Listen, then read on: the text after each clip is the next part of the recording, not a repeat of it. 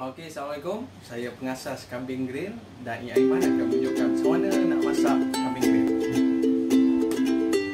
Okey, kita ambil satu pan.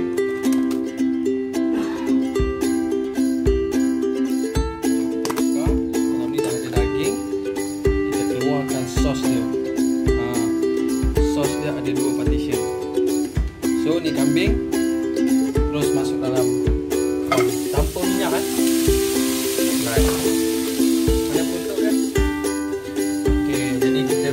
selama 10 ke 15 minit.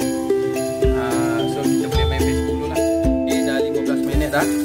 Oh, nampak dia bau dah keluar dah.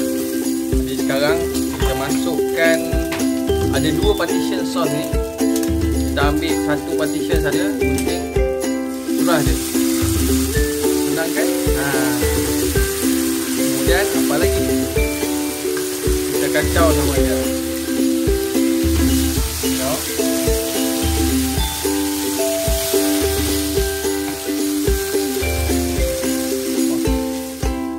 Dah masukkan sos tadi. Kita biarkan selama dalam 2 minit cukup lah. Api jangan besar sangat. Sederhana cukup. Okey, masa dah time. Kita tengok sikit dah lembut ke belum. Oh, memang dah lembut dah. Alhamdulillah. So, terus tutup api dulu. Okey, kita pindahkan ke pinggan. Uh, memang menggiurkan. Jadi, jadi kita hiriskan sedikit bawang Holland. Taburkan di atas uh, kambing ini.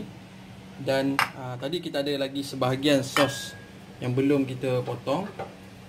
Jadi simple saja, potong je sos ni dan curahkan ke atas kambing tersebutlah.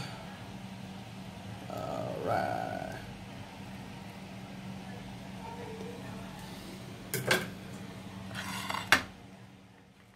Alhamdulillah dah siap. Jangan lupa dapatkan kambing grill Dai Aiman. Like dakwah, share ilmu. Assalamualaikum.